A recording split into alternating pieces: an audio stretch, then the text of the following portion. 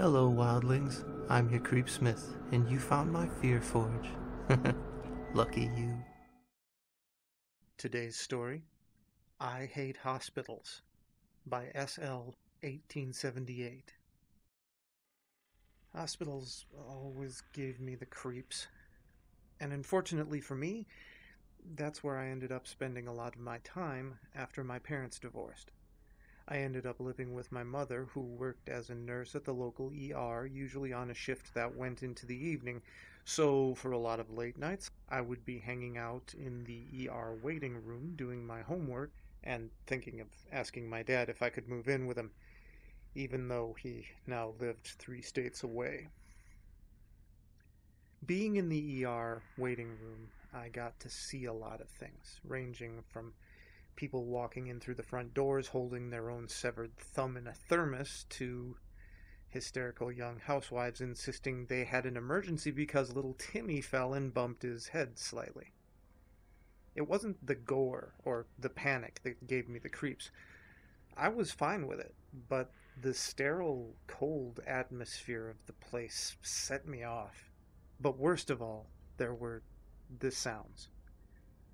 Oftentimes you'd hear the moans of critically ill patients in the distance, or the shrieks of pain from someone getting treated, or the hushed, grave whispers of the nursing staff.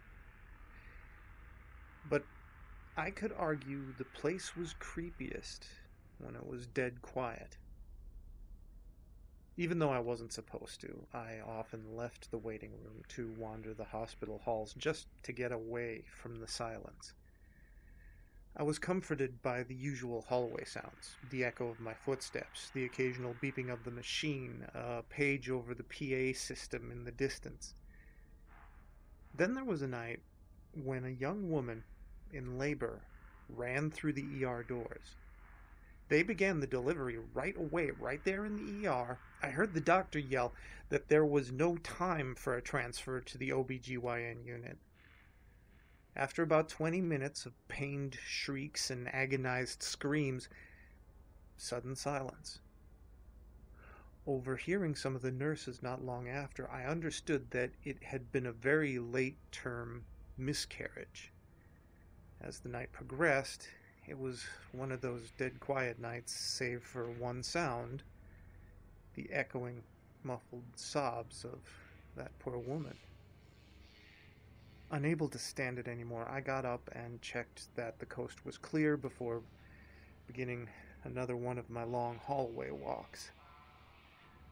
It seemed silent, uh, even by the usual standards. No calls came over the PA, and even the beeping of machines seemed absent. While walking down one of the halls toward a corner, I stopped when I heard an unexpected noise out of nowhere. It was only for a moment, but I was sure I heard the gurgle of a baby. I looked around, but I saw no one. This was far from the pediatric unit. Why would a baby be around here, I wondered. I looked back in the direction that I was headed just in time to see the end of a bloody umbilical cord slowly drag around the corner and disappear. I moved in with my dad two weeks later. So stay scary, my wildlings. Remember, not every fear or aversion is a phobia. Some of them have very, very good reasons and make the most of your nights.